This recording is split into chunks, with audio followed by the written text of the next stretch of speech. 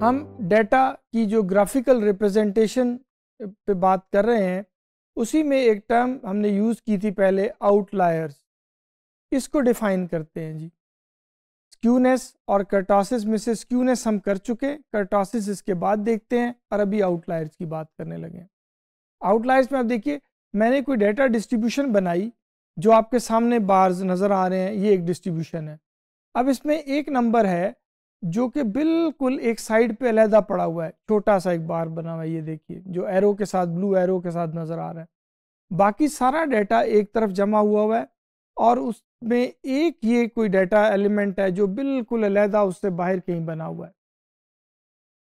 ऐसे data set को जो डिस्ट्रीब्यूशन से, जो जनरल डिस्ट्रीब्यूशन से बाहर निकल जाता है, इसको आप आउटलायर कहते हैं। इन दूसरे लफ्ज़ों में ये कोई एक्स्ट्रा चीज़ है जो कि बहुत सारे लोगों के रिस्पांस पैटर्न से बिल्कुल हट के है। बाकी मेजॉरिटी का रिस्पांस और तरह से है और इस एक का रिस्पांस अलहदा बना हुआ है। इसका मतलब है कि ये मोस्ट लाइकली ये उस पॉपुलेशन को या उस सैंपल को बिलोंग नहीं करता। या तो ये गलती से फिल हुआ हुआ कोई नंबर है, या ये वैसे ही कोई जो आपने सैंपल में किसी को सिलेक्ट किया तो वो इस पॉपुलेशन का एक्चुअली पार्ट नहीं था और गलती से इसमें आ गया। इसका नुकसान क्या होता है? अगर मैं इसको निकाल दूँ, ना इसको शामिल करूँ तो डिस्ट्रीब्यूशन कुछ यूँ बन रही है।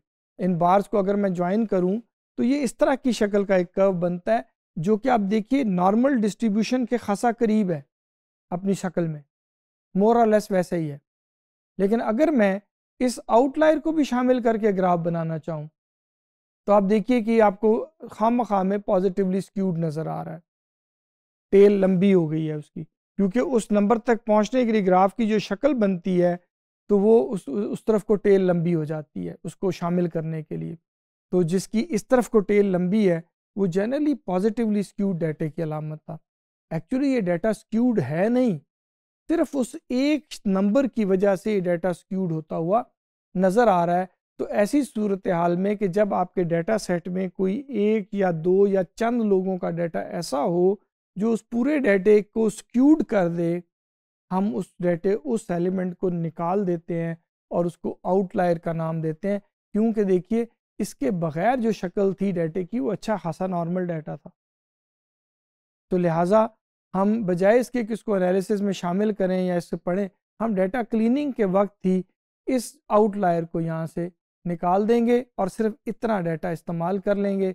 इसको हम इस्तेमाल नहीं करेंगे। तो हमारे डेटे के करेक्टरिस्टिक्स नॉर्मल हो जाएँगे और फिर हम उसके ऊपर स्टेटिस्टिकल टेस्ट ट्रस्ट के साथ अप्लाई कर सकते हैं।